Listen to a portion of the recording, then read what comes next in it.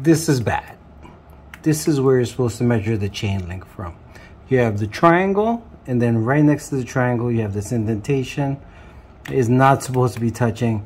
It's supposed to be about seven millimeters. That's zero. Let's fix that.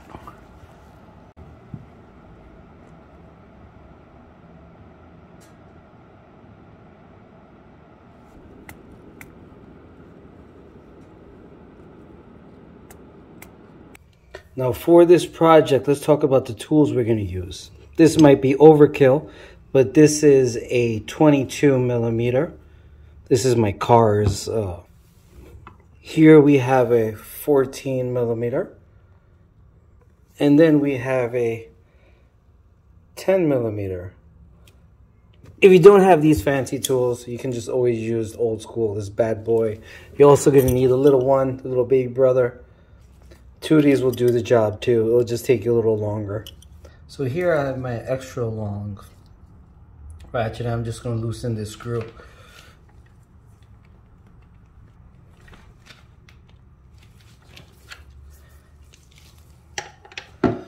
Extremely tight.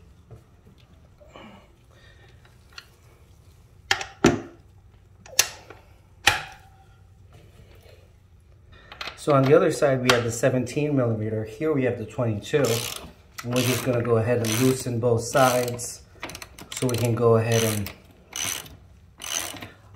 adjust these right here. We're just gonna go ahead and loosen this up. That's pretty loose. And now we're gonna start adjusting this that way.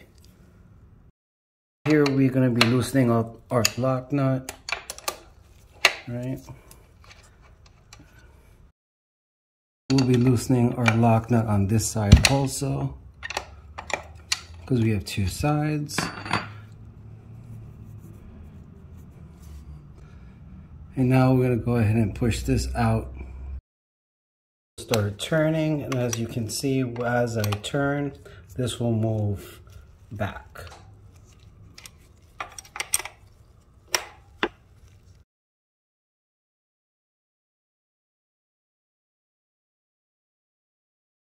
So now if you could see those teeth and how they're aligned, I think I got it almost dialed in. Now I have to go work on the other side.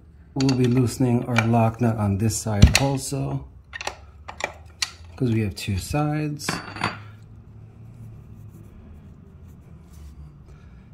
And now we're gonna go ahead and push this out to probably the second one.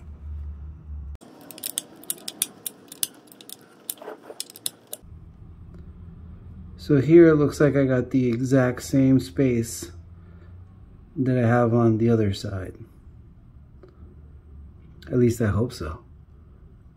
So now if you could see those teeth and how they're aligned, I think I got it almost dialed in. Now I have to go work on the other side. So here it seems like I have the exact same space as I have on the other side.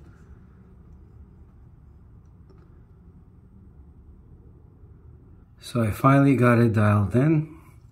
Here we have that indentation. Push it up.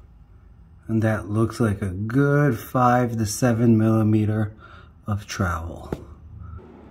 But the chain is not even touching. That's about seven millimeters. I went ahead and measured this with my vernier calipers. You can use measuring tape or whatever you have laying around. Now just go ahead and tighten all the nuts back up and you should be good to go.